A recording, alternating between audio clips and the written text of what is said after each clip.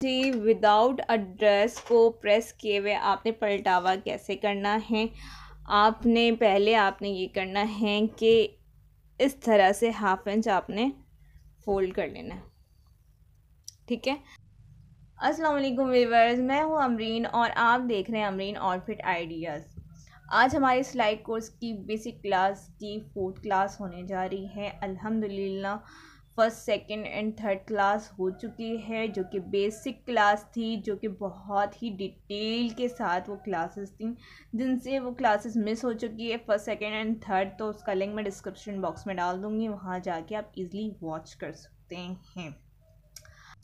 अच्छा जी हमारी fourth class होने जा रही है। फोर्थ क्लास में मैं आपको बताऊँगी कि दामन को कैसे फोल्ड करना है। वो आ, कुछ भी हो सकता है या दुपट्टा हो सकता है या चादर हो सकती है वट एवर तो हम दामन को पल दामन का पलटावा करना सीखेंगे कि दामन को पलटावा करने के बाद जब हमारा कॉर्नर आता है तो उसको किस तरह से फोल्ड करना और इजी मेथड से मैं बताऊँगी, जिन जिन से वो सारे जो प्रॉब्लम फेस कर रही होती हैं, वो सारी चीज़ें मैं बताऊँगी क्योंकि जब वो पलटावा करती हैं तो उनकी क्रीज लाइन बनती है। तो ये सारे डॉट मैं इसी वीडियो में क्लियर करूँगी। मैंने थर्ड क्लास में आपको सीधी लाइन स्टिच करना बताई थी, जब वो प्रोसेस हो जाए, उसके बाद देने अपने इस इस मेथड में आना है। तो चलें वीडियो को स्टार्ट करते हैं। वीडियो को फुल वॉच करना है स्किप नहीं करना है, क्योंकि बहुत सारी क्वेरीज आपकी वहीं पे सॉर्ट आउट होने वाली है। तो वीडियो को फुल वॉच कीजिएगा, स्किप करके मत जाइएगा और काइंडली जो नए हैं मेरे इस चैनल पे, वो सब्सक्राइब कर दें बेल आइकन को भी प्रेस कर दें और शेयर कर दें ताकि जो भी रोज़ आने वाली वीडियो है, वो टाइम टू टाइम आपको मिलती रहेगी और बहुत ही इंफॉर्मेटिव वीडियोज़ आपके लिए मैं लेकर आ रही हूँ तो प्लीज़ लाइक शेयर और कमेंट ज़रूर करें। अच्छा जी, सबसे पहले आपने ये करना है कि आपने कपड़े को प्रेस कर लेना है। ये मैं स्पेशली फॉर बिगनर्स के लिए बता रही हूँ, जिनका पलटावा सही से नहीं होता है। वो सबसे पहले ये करेंगी कि वो पहले प्रेस कर लेंगी जहाँ से उन्हें फ़ोल्ड करना है। वो फोल्ड करने के बाद आपने ये करना है कि इस तरह, ये मैं एक फैब्रिक हटा लेती हूँ क्योंकि इसमें मुझे बताना है आपको डायरेक्ट तो ये वाला हम प्रोसेस करेंगे। तो इसको मैंने प्रेस कर लेना है। ठीक है? पहले आपने इस तरह से इसे फोल्ड कर लेना है। इस तरह से। देख ले मैंने कितना किया है। आपका जो दामन का हिस्सा होता है, वो ज़्यादा से ज़्यादा एक इंच अंदर जाता है। हाफ़ इंच यहाँ पे फोल्ड होता है और हाफ़ इंच तो अच्छा जब आपका पलटावा होता है तो आपका एक इंच यहाँ से और एक इंच यहाँ से। यानी जब आप खोलेंगे तो आपका एक इंच के मार्जिन से आपका जो है वो फोल्ड होगा। दामन।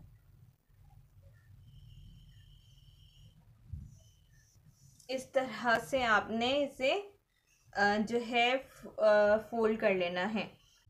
अच्छा जी, जब भी आप अपना फैब्रिक रखें, वो इस साइड होनी चाहिए। आपका जो भी फैब्रिक होगा, वो लेफ़्ट साइड होना चाहिए, ना कि राइट साइड और दूसरी बात ये कि जब भी आप कोई कॉर्नर या फिर पलटावा कर रहे हों तो सेम धागा होना चाहिए नीचे ऊपर दोनों।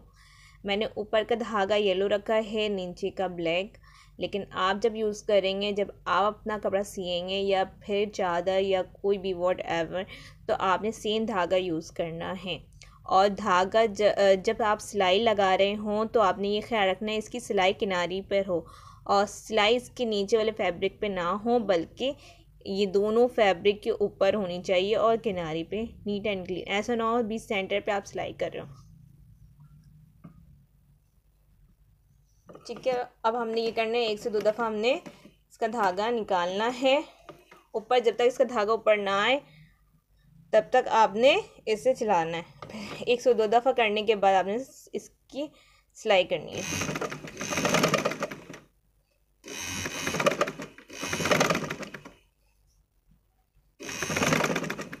अच्छा जब भी आप सिलाई करें तो इसका पीछे वाले हिस्से को आपने इस तरह से पकड़ना है। खींचना नहीं है, आपने सिर्फ़ बैलेंस देना है, पकड़ना है।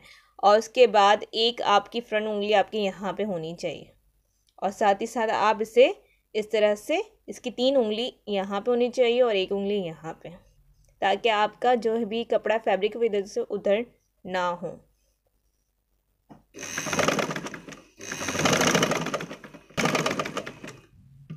आपने इसका धागा कट कर लेना है।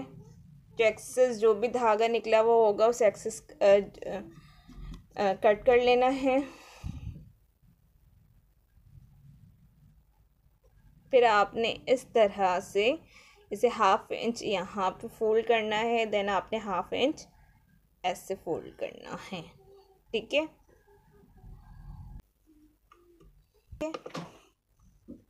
ऐसे रखना है, हाथ की पोजीशन वो देख।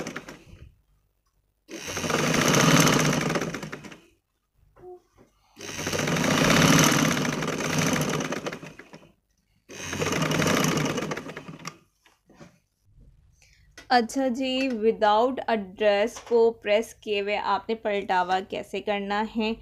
आपने, पहले आपने ये करना है कि इस तरह से हाफ़ इंच आपने फोल्ड कर लेना है। ठीक है? फिर देना आपने, फिर इस उंगली को अंदर लेके जाना है और फिर आपने इसे पलटना है। ये देखें इस तरह से। इस पोजीशन में आपने करना है, आपका कपड़ा ऐसे खिंचाए ना। ठीक है? दोबारा मैं बताती हूँ, आपने हाफ़ इंच अंदर किया कपड़ा को खींचना नहीं है, कपड़े को बिल्कुल ही स्मूथ और इजी रखना है आपने, कपड़े को जिस पोजीशन में आपका कपड़ा है, उसी पोजीशन में रख लें। उसके बाद आपने इसे इस पोजीशन में आपने अंदर फोल्ड कर लेना है। ये देख लें, और अब आप इसकी सिलाई लगा लेंगे। अच्छा जी, अब मैं आपको इसकी सिलाई लगा के दिखाती हूँ।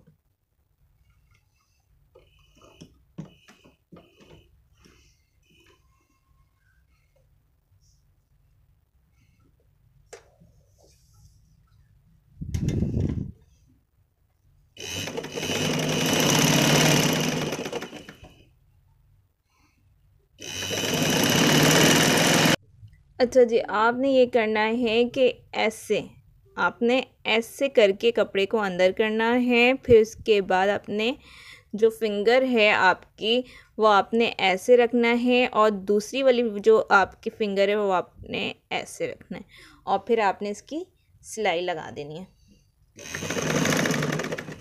दोबारा से बता रही हूँ, आपने एक जो फ्रंट वाली जो है इंडेक्स फिंगर वो आपने इस तरह से आपने करना है। दूसरी इंडेक्स फिंगर को आपने इस इस पोजीशन में रखते हुए आपने इसे सिलाई लगा लेनी है।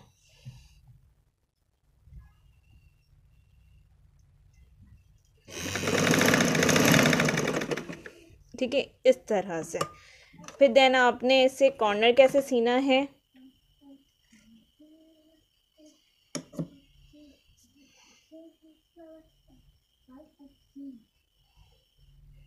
इस तरह से भी आपने फ़ोल्ड किया हाफ़ इंच अंदर कर लिया। अगर आपको प्रॉब्लम कर रहा है तो आप इस तरह से कर सकती हैं, या मैं तो डायरेक्ट ही कर लेती हूँ, यानी कि इस तरह से आपने करना है, इस तरह से, ठीक है? और इसके बाद आपने इस तरह से फोल्ड करना है, ठीक है? और फिर सिलाई आपने ऐसे रख लेनी है। और याद रहे, जब भी आप सिलाई करते हुए धागों को आपने इस तरह से पकड़ना है, धागा छोटा हो जाए तो आपने इस तरह से पकड़ के इस तरह से कर लेना है और उसका धागा पीछे कर लेना है। अब आपको मैं दोबारा बताती हूँ, इंडेक्स फिंगर को आपने इस तरह से करना है, फिर आपने इस तरह से इसकी सिलाई लगानी है।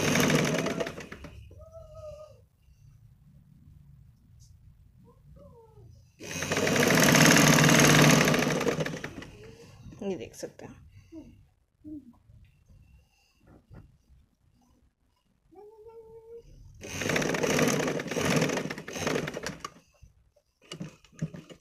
अच्छा जी, इसका पलटावे का ये फाइनल लुक देख सकती हैं, ये विदाउट प्रेस पलटावा है जो कि ईज़िली आसानी से ही हो जाता है। स्पेशली बिगनर्स को प्रॉब्लम आती है। इसीलिए मैंने उन्हें प्रेस करके बताया है कि प्रेस करने के बाद आपने किस तरह से पलटावा करना है। पहले आप प्रेस करें कपड़े को और उसके बाद देन आपने इसे पलटावा करना है।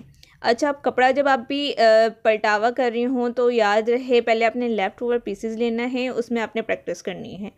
प्रेस करें उसके बाद आप देन आपने स्टिच करना है। जब आप उसमें परफेक्ट हो जाएँगी तो फिर आप क्या करें कि सेल्फ पलटावा खुद से करें। खुद से पलटावा करें विदाउट प्रेस और फिर उसमें जो भी मिस्टेक आएँगी क्योंकि शुरू में तो मिस्टेक्स आती हैं जब आएँगी मिस्टेक उस हिसाब सीखेंगी उसके बाद अगर आप यूज़ हो जाएँगी तो परफेक्ट करने लगेंगी।